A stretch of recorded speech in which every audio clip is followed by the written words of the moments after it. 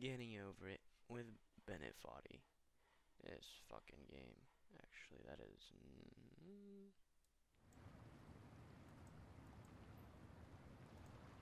That's good. That's pretty good. Alright. How angry can we get in the shortest period of time? I don't know. How to find out. Alright. Okay. There we go. Progress. Come on. Get over the fucking tree. Get your hammer. Mm. Eh. Oh. Fuck you. Come, you're almost there. You're you're almost there. Just get over the tree. Yes. You bitch. Whoop. All right. Whoop. Oh. Shut up. You know what? I'll actually put your voice on. Due, as I have. Or if you left your wallet at You're home annoying. and you have to go back after spending an hour in the commute. Hmm. Look at the speed If you run. won some money at the casino and then put all your winnings on red, but it came up black. If you got your best shirt dry cleaned before a wedding No, and fuck. you immediately dropped food on it. All right. If you won an argument with a friend and then later discovered that they just returned to their original view. Starting over all right, all right, is all right. harder oh, than chill, chill, starting chill. up. If you're not ready for that, like if you've already had a bad day, Fuck. what you're about to go through might be too much. Feel free to go away and Shut come up. back. I'll be here. bitch ass. All right. Thanks for coming with me on this trip. I'll understand if you have to take a break God at any point. damn it. Just find a safe place to stop and quit the game. Don't worry, I'll save your progress always, even your mistakes. Save my progress.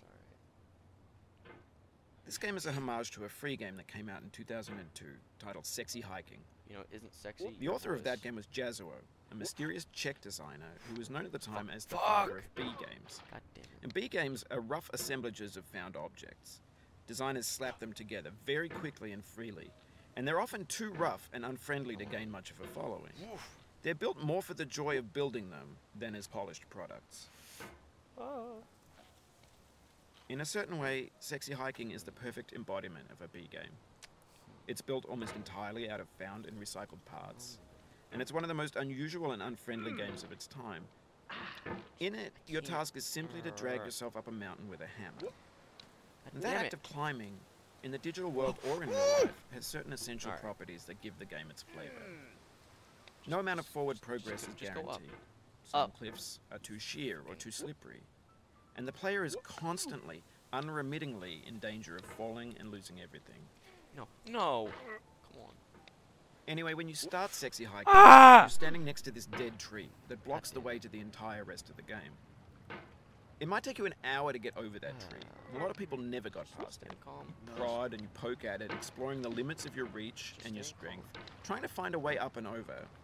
And there's a sense of truth in that lack of compromise. Get your Most stupid obstacles in video game worlds are fake.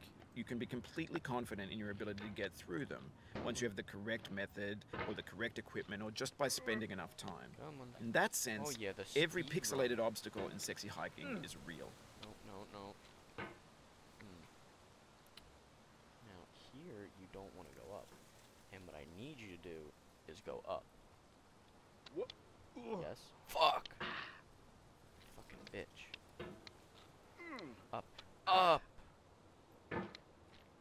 Yes. Finally. Only took you fucking 800. 800. The obstacles in sexy hiking are unyielding, and that makes the game uniquely frustrating. But I'm not sure Jazzuo intended to make a frustrating game. The frustration is just essential to the act of climbing, and it's authentic to the Oh. process of building a game about climbing. Come on. There you A funny go. thing happened to me as I was building this mountain. I'd have an idea for a new obstacle, and I'd build it, test it, and it would usually turn out to be unreasonably hard. Never mind. But I couldn't bring myself to make it easier.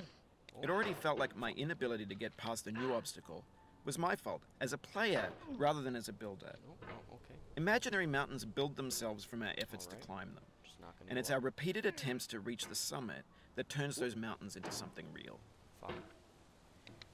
Fuck. No, no, you don't go When down. you're building a video game world, the way you go. you're building with ideas. And that can be like working with quickset cement. You mold your ideas into a certain shape that can be alright. played with. And in the process Oh. of playing with them, they begin to harden and set until they're immutable, like rock. And at that point, you mm. can't change the world. Not without breaking it into pieces Holy and starting shit, fresh with new gonna up? ideas. Mm. Turn your volume up. Don't make me regret it. Mm. Alright. Up. Fucking go up. Up! Come on. Just, just go up. Just, just up. You have to get- Go the opposite way of which you're going right now. Alright. Okay. Yes. Alright, you're on. Fuck! Eh. Oh my god. Woof! Alright. It's not working. Oh. Okay. Okay. Um. Well, a little bit of a predicament here. Uh. Fuck. Yes. Alright, alright. Ugh, do not fall down. Do not fall down. Oh my god. I'm gonna take that pot and shove it so far up your ass. Hmm. Up, up, up for Christ's sake. Hmm. Ah. Yes. Alright, we got one lamp. Hmm. Got a second lamp. Come on. Do not fall over. Just go up. For yes! years now, people have been predicting that games would soon be made out of prefabricated objects, bought in a store and assembled Not into a the world. left. And for the most part, that hasn't happened. Because the objects in the stores are trash. I don't mean they look bad or that they're badly made, although a lot of them are. I mean they're trash in the way that food becomes trash as soon as you put it in the sink. Things are made to be consumed and used in a certain context. And once the moment is gone, they transform into garbage. In the context of technology, those moments pass by in seconds. God damn it. On.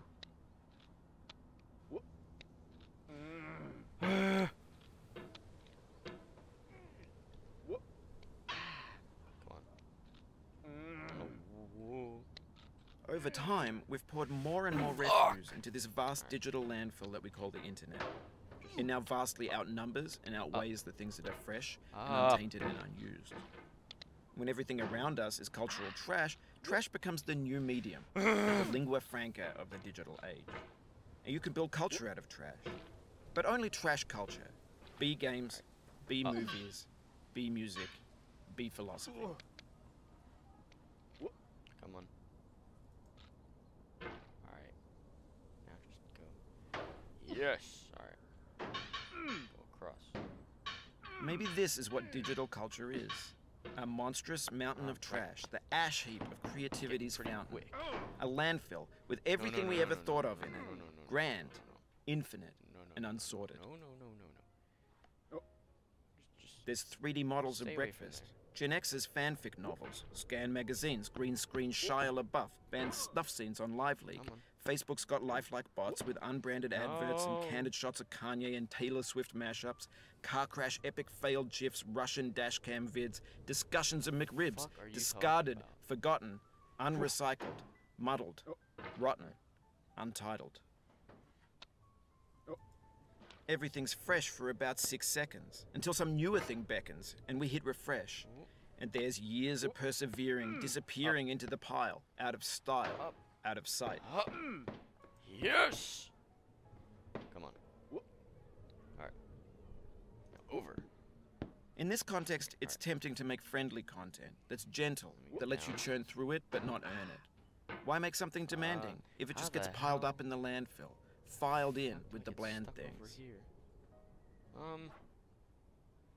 Alright, there we go. Alright, how do I get across this?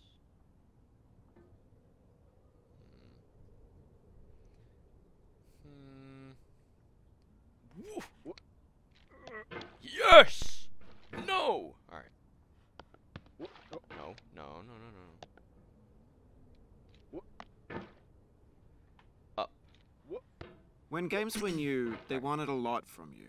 Daunting you, taunting you, resetting and delaying you. Players played stoically. Now everyone's turned off by that. They want to burn through it Ah. quickly. A quick fix for the fickle. Some tricks for the clicks of the feckless.